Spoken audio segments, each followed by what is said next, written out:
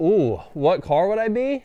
Dude, I'm not that into cars, but I'll relate myself for the last car I had. What's like the most crashed car, but like it just keeps going? Leather interior, leather. We make a lot of messes, so some some some cloth or whatever the hell Dax chose would not be right. Oh, I'd have to go with the neutral car, so nothing too fancy. I'm the guy in the middle. I just take it through like the quick wash. The, yeah, it's called the Wiggy wash. I'm running red fuel for sure. We're not going legal. We're tied on the miles now. We ain't be driving that thing much. no AC on.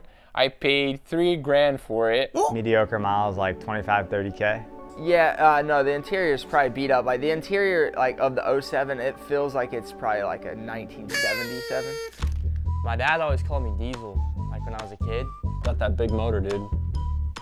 That good suspension. No, I think the exterior still looks pretty good. Yeah.